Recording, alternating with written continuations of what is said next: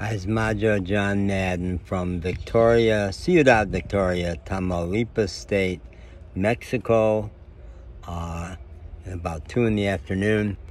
Uh, I just walked into a time warp for two reasons. One is I got a, I, I looked at Facebook, which I never do, and my friend Tom had put up a memory of the peace concert uh, we did at Jubilee about seven years ago with uh, the woman who goes by the name of the Peace Troubadour. Uh, I'll think of her name. I love her. She's amazing. And she was headlining it, and uh, and she, the people who put it on, recruited me to write a poem about peace for it. So it was very evocative. It was a spectacular night and brought up a lot of memories for me. I have to remember that woman's name because her music is really gorgeous. You're going to want to check her out on Spotify.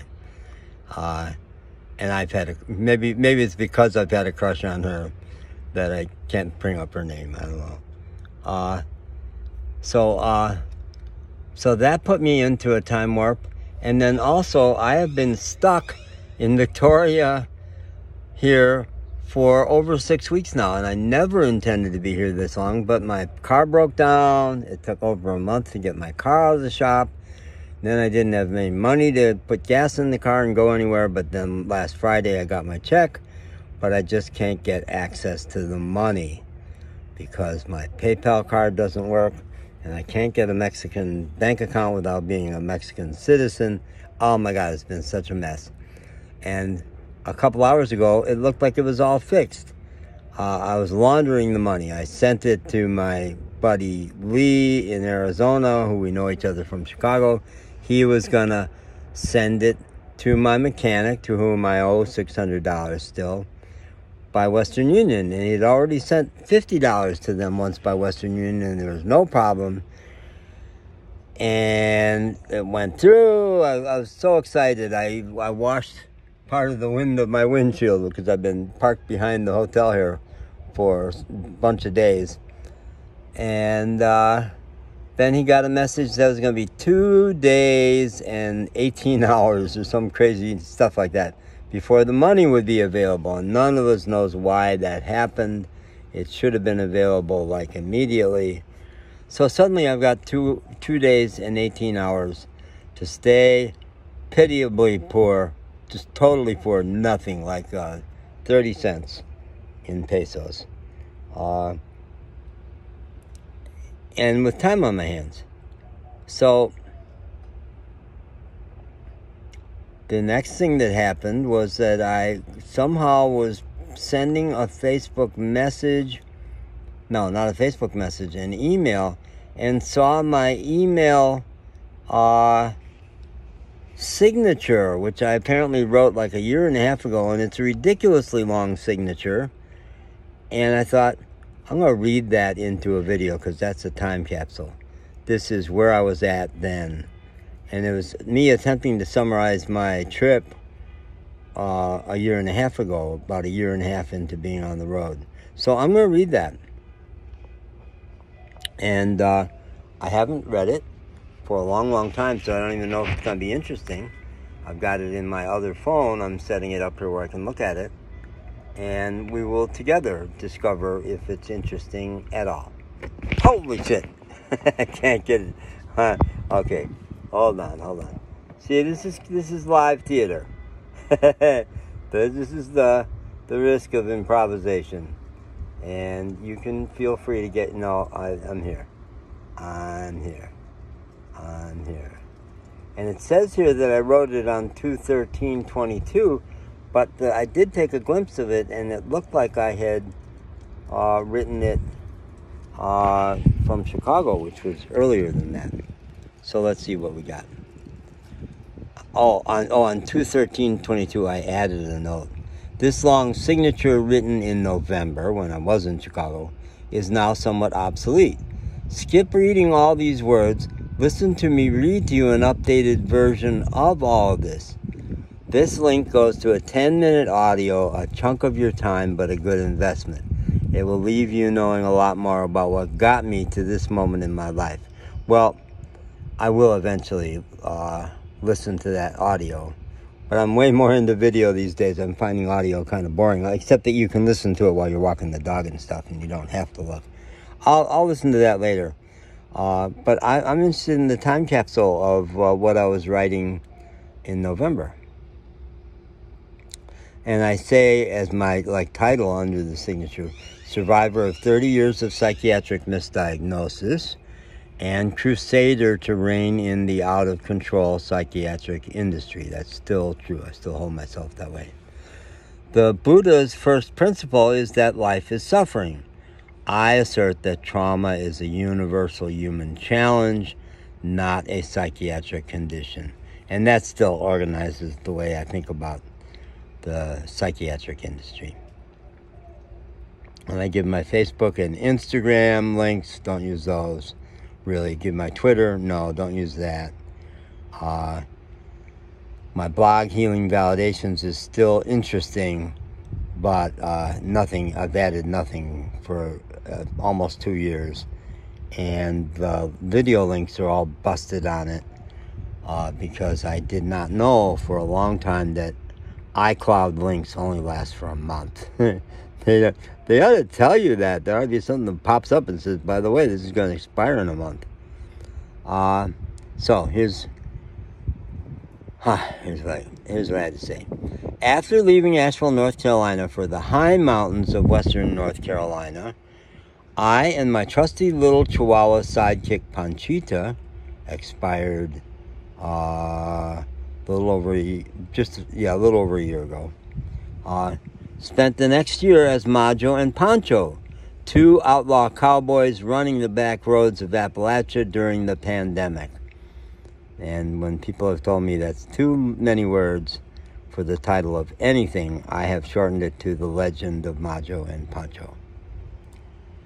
We spent the summer of 2021 in the oppressively hot and oppressively southern city of Louisville, Kentucky. Reaching out to my son and working with the Black Lives Matter group there to dispel white paranoia about how dangerous Louisville's black population is and to bring about justice for Louisville's sweetheart and martyr Breonna Taylor. Since October 6th, we have been basking in my uh, we have been in my hometown, Chicago, basking in the gritty realness and natural friendliness of working class Chicagoans. I did love that. Licking our wounds from the summer, because they've been such an awful summer in Louisville. Reconnecting with fabulous friends who knew me before 2004 when I moved to Asheville, and figuring out what comes next. My vision is to eventually settle somewhere in the Southwest. No, no that has evolved. That's a long, long standing vision of mine. I was going to go to New Mexico, etc. Uh, and at this point, I was going to do it because of Pancho and I had gotten allergic to the Blue Ridge Mountains. But it, it morphed to I gotta have I gotta have a sleepy little beach community in uh, in Mexico, and I actually am in Mexico now, so that's pretty amazing. Uh, okay. Uh, but we are drinking deeply of my fabulous hometown Chicago, my favorite old neighborhood Rogers Park. If you're into Chicago, and I just who oh Katie Fountain, my friend, uh, just moved to Chicago. Apparently, I, I need to. It's probably too late to suggest what neighborhood she should live in, but she can spend time in Rogers Park that, and it's the Chicago neighborhood farthest to the north along the lake before you go into Evanston. Uh, and we're also drinking deeply of the great being that is Lake Michigan and the gorgeous Loyola Beach, named for my alma mater just a mile south. So, I, in our six weeks in Chicago, we spent almost every night parked in the parking lot right next to the apartment I used to live in in Rogers Park which was exactly at the north end of the big mile long Loyola Beach. So the, the beach was just outside my windows and I had a balcony overlooking it. Yeah. Uh, my Chicago girlfriend christened Lake Michigan Mama and Loyola Beach, La Playa del Juan. She had just returned from La Playa del Carmen. And we're headed for not specifically La Playa del Carmen, but uh, the end of the Yucatan Peninsula. They call it the Mayan Riviera. And there's many resorts and other non resort places to explore out there. First, we were going to be here in Chicago through October. After a week here, and I'd gotten there, I'd gotten there like October 7th. After a week here, I pushed our departure back to December 3rd. We actually left earlier than that because it got cold. I was like, guess what? At the end of the fall, fall tends to be glorious in Chicago, but guess what follows it? Uh, but at this point, on I guess October 22, I'm saying that still is feeling too short a time to see everyone I want to see, and it was too short a time. Experience all I want to experience and to learn everything that Mama is trying to teach me because I was parked right on Lake Michigan, that great being. After almost non-stop travel since the COVID hit, and I left Asheville on March 28th of 2020. Uh, Chicago seems to be telling me to slow down and get more grounded, absolutely. But we can't ride out a Chicago winter living in Narwhal the Whale, our 88 Ford Econoline camper van, much as we love her. She'll become significantly less cozy in the winter. Big time. Except she didn't make it that far. That's interesting.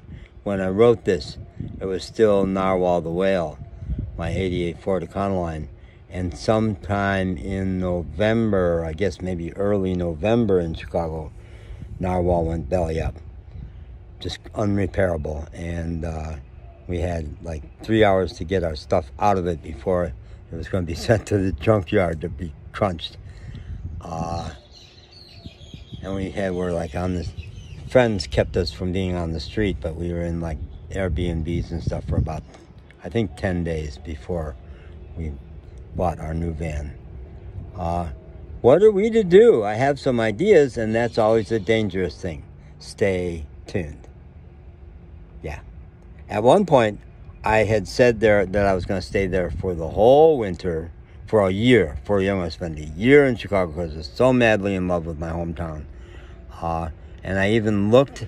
Uh, my friend Lisa Childs came up from the south side, and we went into my old building and looked at an apartment in that wonderful old building that has never been improved in like 50 years. I don't know, 40, 50 years. Classy, classy old Chicago apartment building.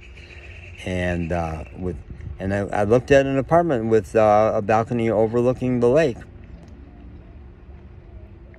But uh, I was blowing smoke to think I could afford Chicago rents, even in that even that neighborhood, which had been cheap for Chicago because when I was there 20 years ago, the word on the street still was that it was dangerous in that neighborhood. So the rents hadn't gone up, but they have gone up.